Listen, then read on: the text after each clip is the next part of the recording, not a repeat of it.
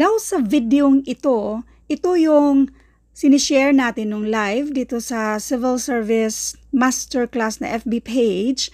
So hanggang dito sa ratio kasi putol-putol yung live natin at hindi nag-synchronize yung mga sinusulat natin. So ngayon, uh, ating balikan.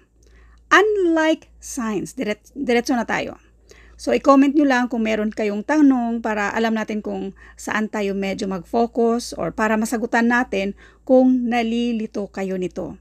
Ito yung pinaka-basic para sana wag kayong malito sa mismong mga word problems, mga ganyan.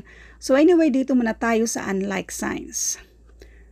Number 1, 5 minus 2. Mukhang madali lang naman siya kasi ang 5 kuha na ng 2, ang matitira dyan ay 3. Dito sa number 2, negative 2 plus 5.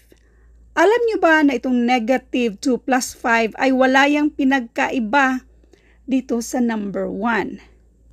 Ito, para hindi kayo malilito. May utang kang dalawa, magbabayad ka ng lima, ibig sabihin may sobra kang tatlo, positive 3. In other words, Kapag unlike signs, negative at positive, kunin mo lang yung difference. Ang difference sa dalawang numbers na yan ay 3. Tapos, kopyahin mo yung may pinakamalaking value which is yung 5, positive. Kaya positive 3.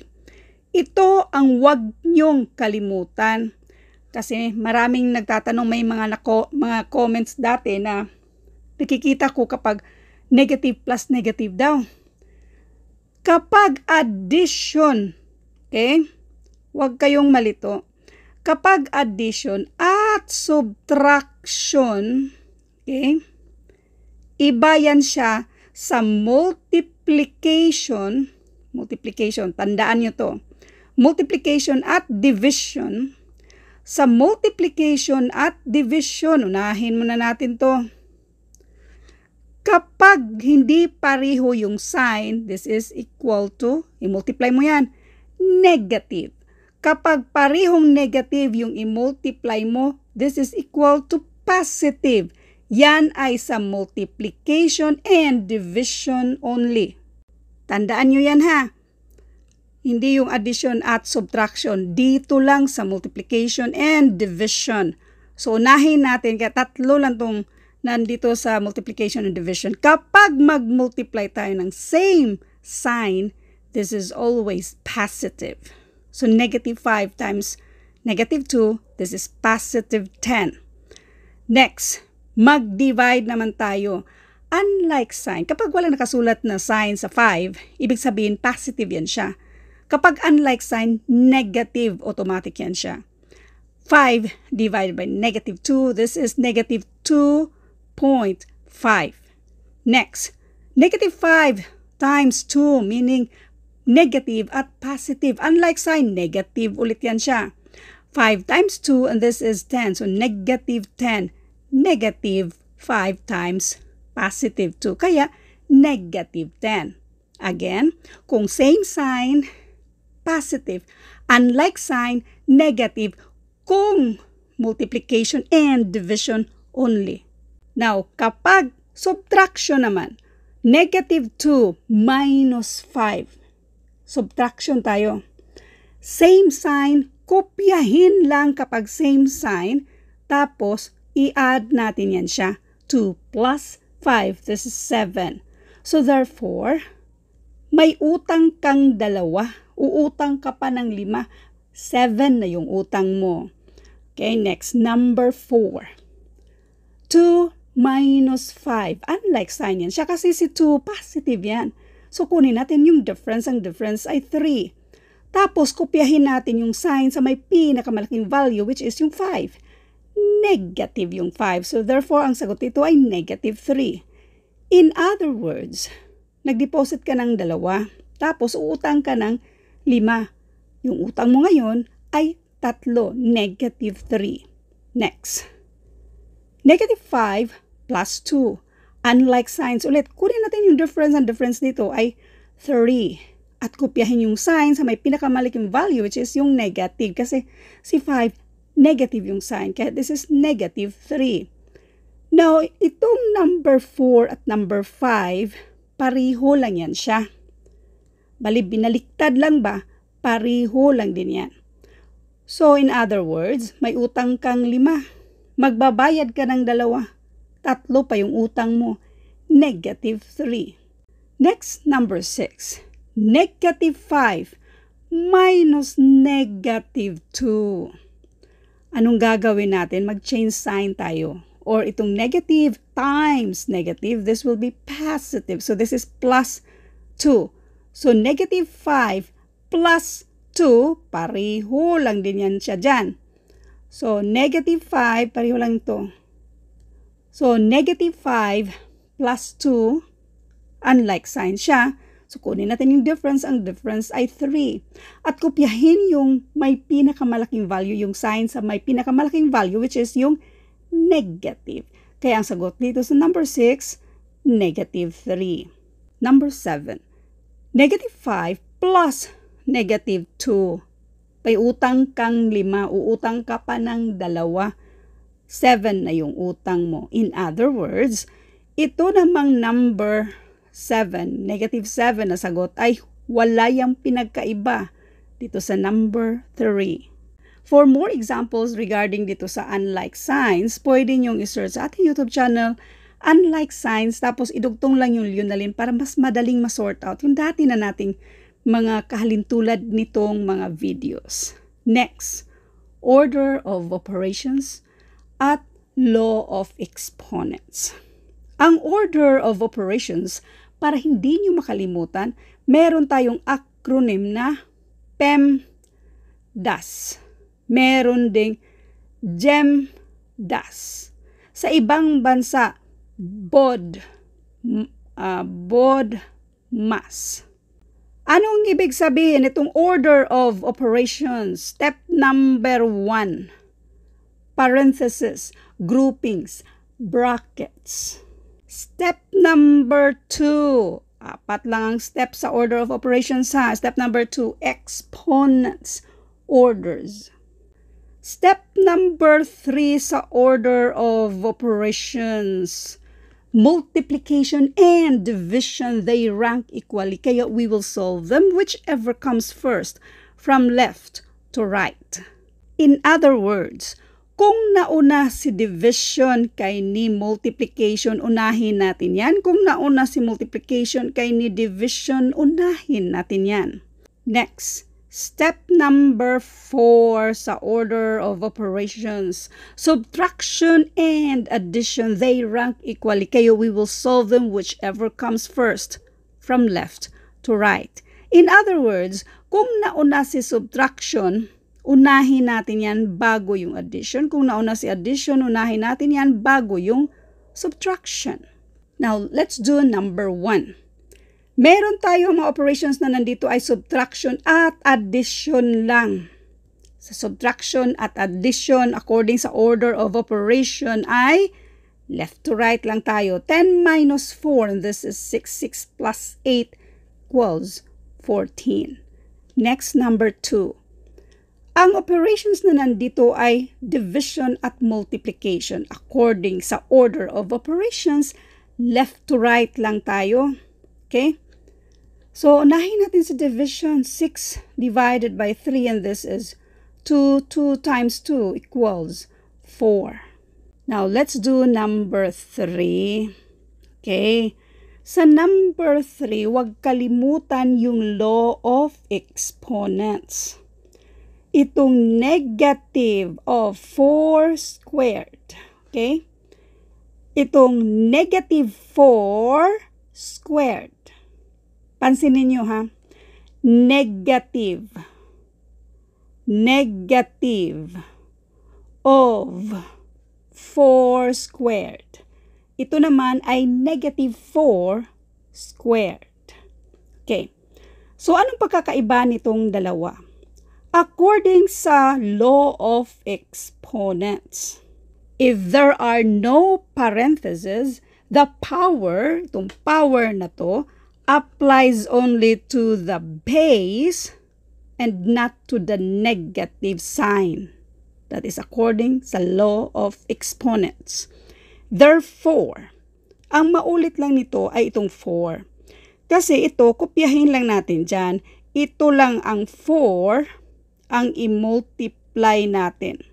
4 times 4 and this is 16. Therefore, negative 16 ang sagot dito sa number 3.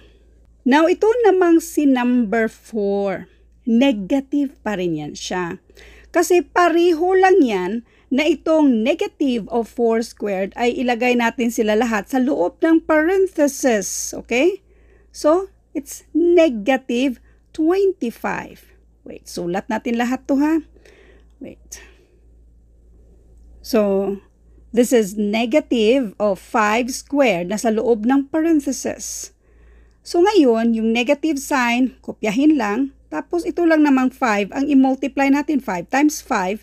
And this is 25. Kopyahin yung negative sign. So therefore, this is negative 25. Si ma'am ba, bakit ganun? Na dapat di ba ma'am, negative times negative equals positive. Kasi nga hindi naman tayo nag-multiply sa negative kasi nga hindi siya kasali according sa law of exponents. Dito tayo sa number 5. According sa law of exponents, if there are parentheses around the negative base, okay, then itong exponent na to, applies to the entire equation including yung negative sign. So therefore, this is negative 5 times negative 5. Kaya ang sagot dito ay positive 25. So therefore, itong number 5, this is positive 25. Siya lang yung positive dito sa ating number 3, number 4, number 5. Ito lang ang positive. So, tandaan nyo yan, dito na tayo sa pang civil service exam style. Merong kahalintulad nito, hindi na pareho yung mga numbers, pero may kahalintulad. 36 divided by negative 3, negative of 3 squared times negative 2 squared. Unahin natin yung mga exponents. Ito naman, Okay, na-explain na natin na this is yung 3 lang, yung base na 3 lang, ang itong may exponent na 2. Kaya 3 times 3, and that is 9. So therefore, this is negative 9. Next, ito naman ay negative 2 times negative 2. That is why this is positive 4. So ito ay positive 4. Tapos, kopyahin natin si 36. Ang natitira nating operation dito ay division at multiplication. Now, according sa law of exponents, they ay law, I mean order of operations, according sa order of operations, ang division at multiplication, they rank equally. Kaya we will solve them whichever comes first from left to right. So, unahin natin yung division kasi nauna sa division. 36 divided by negative 9. So, this is negative 4 negative 4 times 4 equals negative 16. So, ang sagot dito, letter D, negative 16. Next, number 7. What is the simplest form of the given expression? Meron ding kahalintulad nito sa mismong civil service exam na civil service exam. So, huwag niyo i-memorize yung sagot dito, ha? So, unahin natin yung nasa loob ng parenthesis. 2 minus 3. So, mayroon kang 2, uutang ka ng tatlo, so ang utang mo ay isa na lang. So, this is negative 3. So, we have negative, oh, I mean negative 1 pala. So, this is negative 1 na may exponent na 3. Dito na tayo. So, negative 1 na may exponent na 2.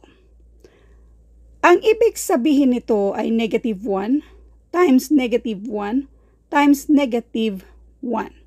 Ito naman ay negative 1 times negative 1. So, dalawang negative, this will give us positive 1. So, 1 lang. Ito naman, negative times negative, this is positive 1.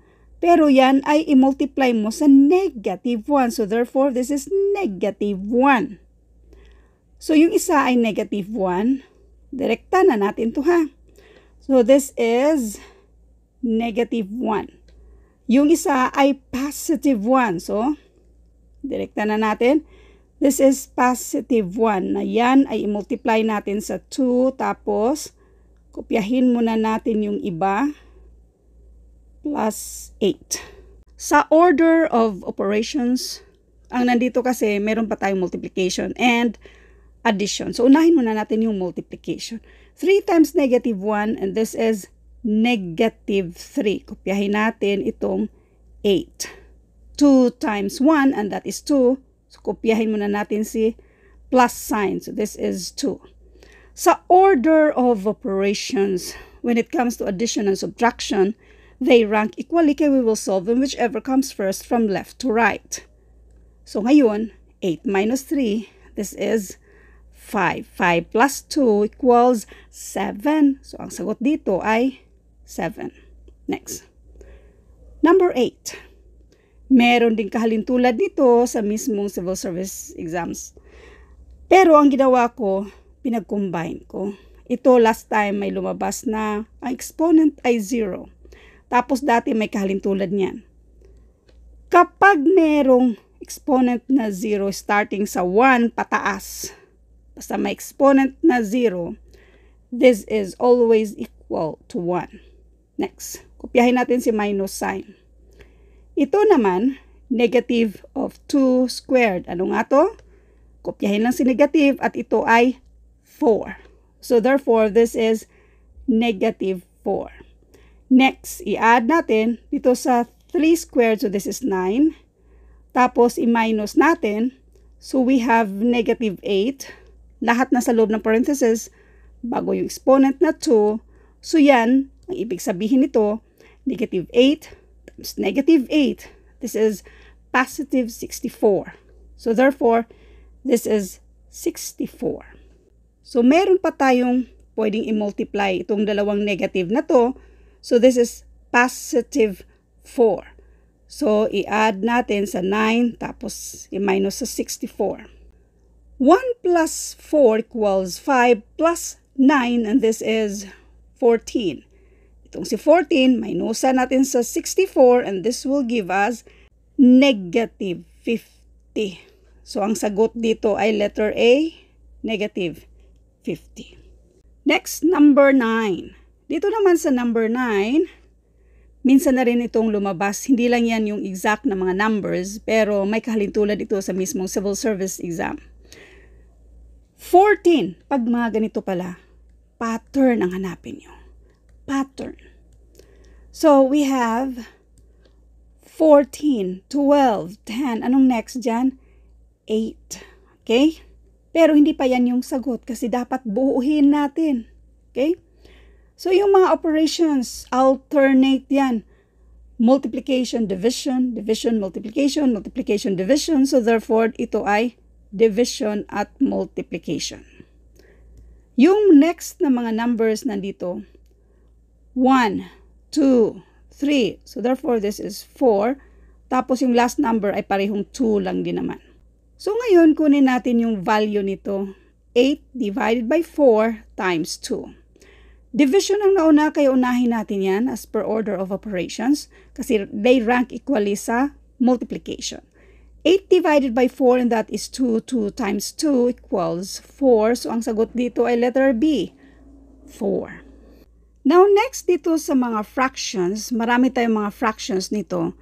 Since na-tired naman ako, sa next na video na lang itong mga fractions na to. Itong, meron din tayong pang civil service exam style or may kahalintulad nito sa mismong civil service exam para sa mga first timer at dito tayo sa ratio and proportion. Ito yung abangan nyo sa next na video. Thank you and God bless.